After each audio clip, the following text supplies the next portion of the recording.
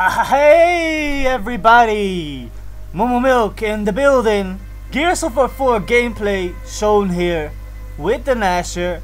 You can see the moves are very fast. A quick pop shot around the cover there and you can still be running on the wall and bodying people. And um, finally we see some Gears of War 4 multiplayer gameplay. Here you can see a two shot down and the Gnasher execution when you when you hold Y very nice. And as you can see this is a new map. Looks very dope very nice graphics. Some Lancer gameplay here. Everything seems so smooth oh he picked him up with the meat shield there. That looks so smooth.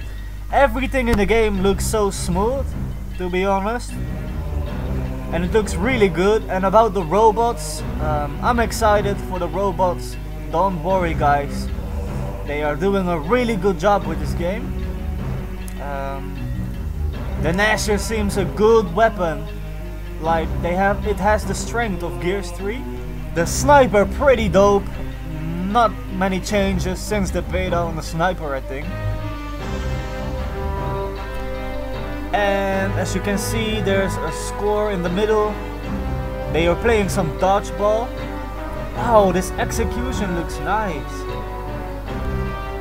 Really liking the movement in this game. Looks very smooth. The wall bounce it's uh, a lot like the beta. They updated the graphics a lot. Ooh, nice. I like the meat shield on this game. The pistol is not overpowered on Gears 3 it's pretty pretty powered.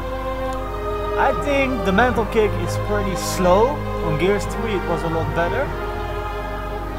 So yeah, this was uh, Gears of War 4 Impact multiplayer map gameplay.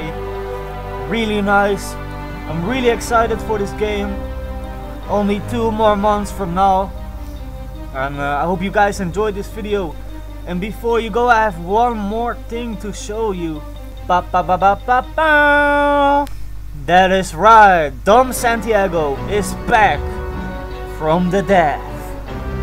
Zombie Dom on the left, Old Man Marcus in the middle, Tomorrow Anya on the right. If you pre-order Gears of War 4, you will be able to play with these three characters.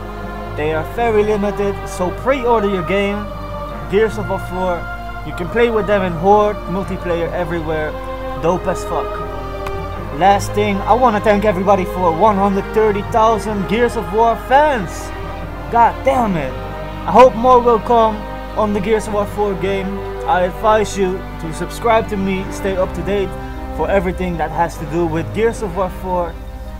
And crazy stuff is coming, crazy stuff. I see you all soon. Later everybody. Take care.